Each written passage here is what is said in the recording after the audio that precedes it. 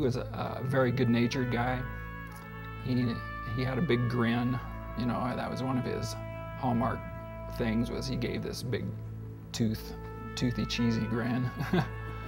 so he was known for that. But he he was just a very good-natured kid. He was the kind of kid that uh, whenever he put his put his mind to a project or um, an activity, he put his whole self into it. He wanted to make sure things were done right.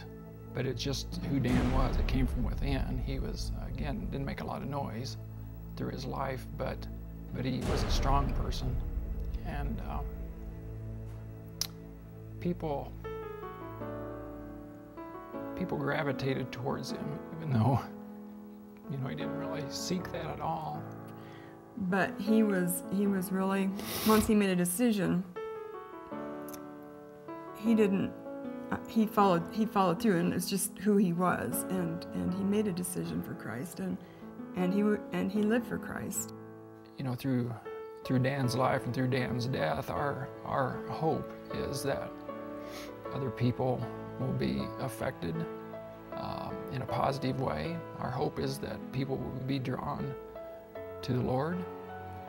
Our hope is that people's lives will continue to be changed. We've heard of, of, a number of people that have been, their lives have been touched and been changed because of, because of Dan's life and Dan's death. And, and um, the Chapel Project at Golden Bell is, is a continuation of that hope.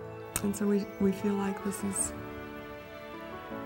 a project that, that we can really um, support and help young people find the Lord. It's, it's something that that we as a family we can't do on our own. We don't have the resources to do our own, nor I don't know that we would want to do it on our own. Um, it's something that needs to be done from the body of believers. But I, I think it's a project that Dan would put his stamp of approval on, of something that, that yeah, well done.